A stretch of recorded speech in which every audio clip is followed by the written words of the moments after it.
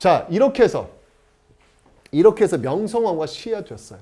자, 그 남편 누구니? 고종. 고종이 이걸 본 거야. 본 거야. 고종이 어땠을까? 완전 두려움이었지. 뭐야? 여기 궁궐까지 칼 들고 들어 사람 죽이는 거야? 그럼 나도 죽겠네? 이런 판단하겠죠. 자, 이렇게 되면서 이제 고종의 정치인으로서의 모습이 시작됩니다. 무슨 말이냐면 어렸을 때는 누가 고종을 에워쌌죠? 아버지 흥선대원군이.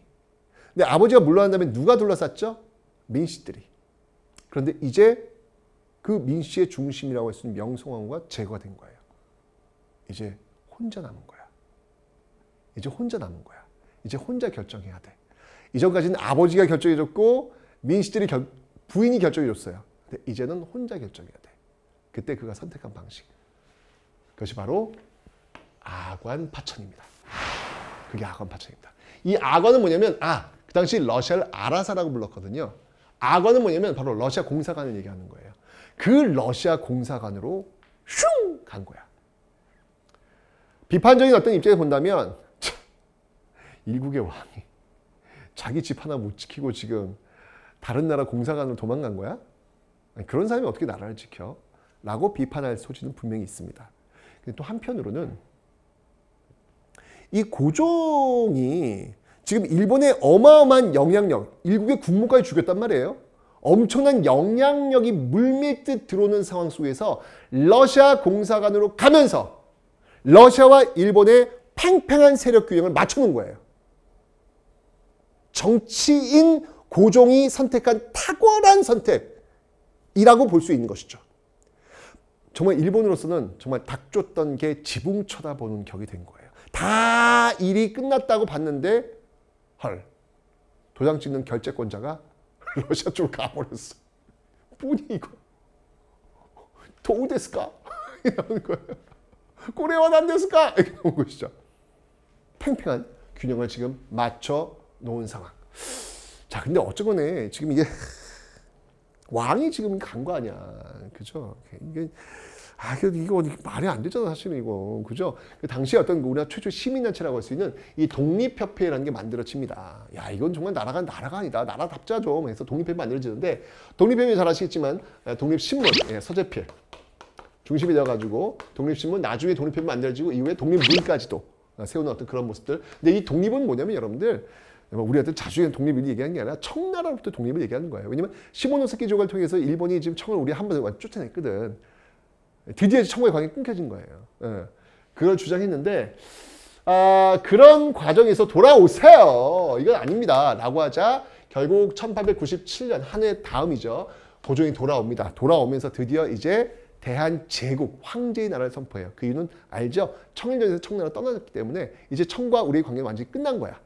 이제는 우리도 황제의 나라가 될 수 있는 것이죠. 그러면서 대한제국을 선포하게 되더라. 이걸 보여주고 있는 대표적인 건축물이 바로 환구단이라는 거예요. 환구단이 뭐냐면 하늘의 제사를 지내는 그런 기구, 예, 그런 어떤 아, 곳이거든요.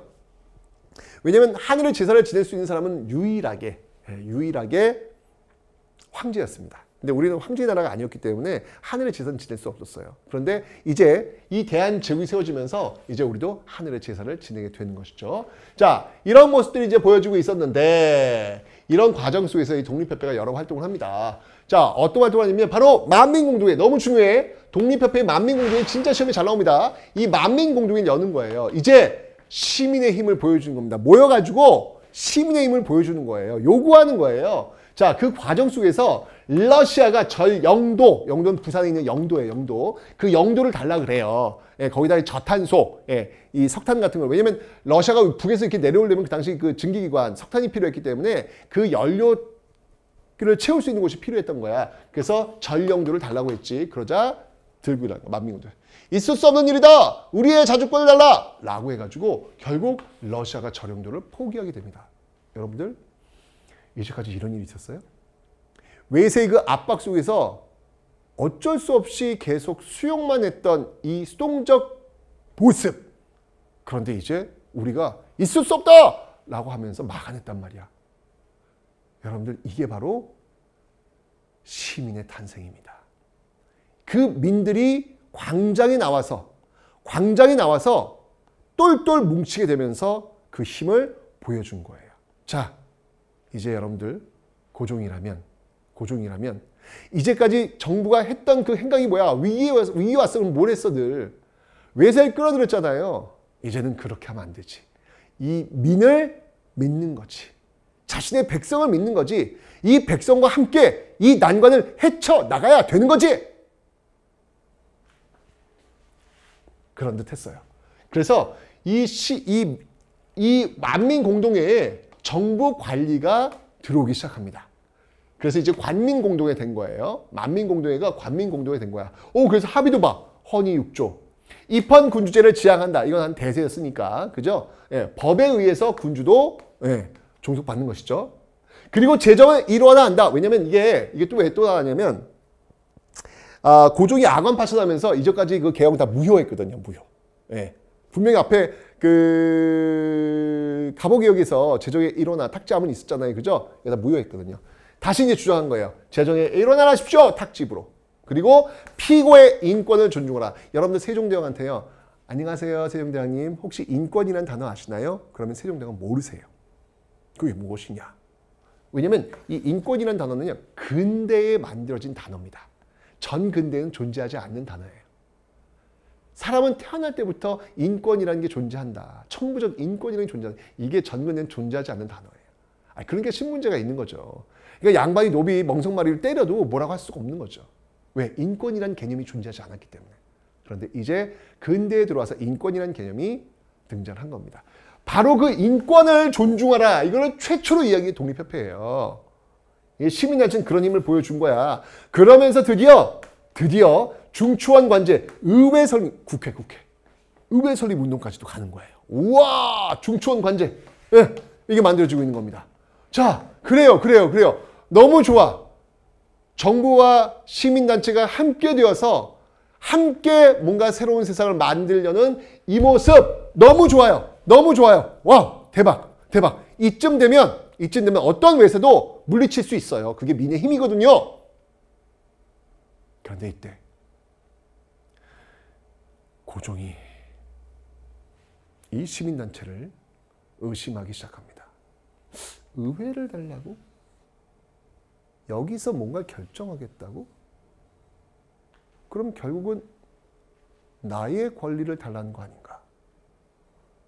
듣건데 대통령제라는 것을 시행한다는 이야기도 있던데 대통령제가 시행되면 대통령 뽑는다던데 그럼 나는 어떻게 되는 건가? 이것들이 바로 반역자들이구나! 라고 해가지고 결국 독립협회를 해산시킵니다. 아, 저는 여기서 절망. 어찌 본다면, 어찌 본다면 이후의 역사를 바꿔낼 수 있는 저는 마지막 기회였다는 생각이 들거든요. 맞아. 우리 알잖아. 역사 이 뒤에 나온 스토리 알잖아. 이제 망한다고. 우리 망한다고 이제. 그 망하는 역사로 갈 수 없도록 만들 수 있는 그 마지막 기회가 저는 이 독립협회. 그 민과 함께 정부가 함께 가는 이것 이것이라고 생각했거든. 근데 결국 고종은 믿지를 않습니다. 민을 믿지 않습니다. 결국 해산시키고요. 이제 고종 혼자의 단독 플레이, 황제의 힘에 의한 개혁을 단행합니다. 그게 바로 광무 개혁이라는 거예요. 광무가 고종이거든. 광무 연호가. 아. 9번 신참에 입각해서 옛것을 하고 새로운 것을 참고하겠다. 이거 여러분 어디서 들어본 것 같지 않아요? 80년대 그 개화파, 온건파 주장했던 동도서기. 우리의 정신은 그대로 있고 서양의 기술만 받아들이겠다. 옛 것을 본으로 하고 새로운 것은 참조하겠다. 똑같은 말 아니겠습니까? 그런 정신에 일각해서 9번 옛 것을 본으로 한다. 황제권의 강화. 아버지 흥선대원군이 왕권을 강화시켰던 그 모습과 유사합니다. 황제권의 강화. 모든 권력은 다 나에게. 권력을 나눠달라고 이것들이 영모. 다 모든 권력은 나에게. 라고 해서 대한민국 국제를 만들어서 원수부. 원수부. 모든 권력은 내가 원수야. 원수부로 다 집중시키는 황제권의 강화를 보여주고 있더라. 그리고 새로운 거 개혁하자. 그래 뭐 할까? 양전 사업, 토지 조사 사업 통해 가지고 예, 근대적 토지 소유 문서라고 할 수 있는 지계를 발급하자. 요거 보면 아, 요거는 여기서 여기까지 내 땅이구나. 이런 걸 보이는 지계를 발급하자. 근대적 토지 소유 문서라고 볼수 있습니다. 자, 이런 것들을 보이고 있는데 이 지계 발급 너무 중요합니다. 이거. 예, 광무격의 핵심이 지계 발급이라고 보시면 돼요. 황제권 강화하고 요게 핵심이에요. 요게 핵심. 그리고 뭐 상공업진흥 이렇게 있습니다. 자, 이렇게 해서 이렇게 해서 이제 민의 힘은 끝났고 고종 혼자 단독 플레이로 지금 개혁을 단행하고 있어요. 물론 그 개혁의 배경은 러시아와 일본의 팽팽한 세력 균형 속에서 고종 황제 단독의 광무개혁이 지금 단행되고 있는 거예요. 그런데 만약, 그런데 만약 러시아와 일본의 그 팽팽한 균형이 깨지면 그 다음은 어떻게 될까? 이게 고종 혼자 지금 모든 걸 하고 있는 건데 그 팽팽한 균형이 깨지면 어떻게 될까? 그 모습. 하, 왜 이렇게 긴장되죠? 그 모습은 다음 시간에 확인해 보도록 하겠습니다.